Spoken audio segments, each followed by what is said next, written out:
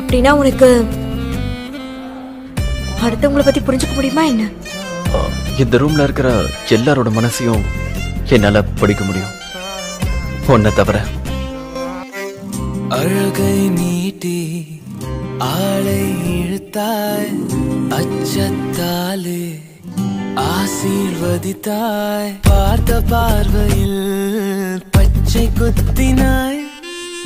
உன்கிட்ட இருந்த விலகி இருக்கிற அளவுக்கு என்கிட்ட பலம் இல்லைன்னு நான் நினைக்கிறேன். வருவாயோ? சாலை கடக்க முடியும் முன்னால் உன்னை கடக்க அப்ப விலகி இருக்காத?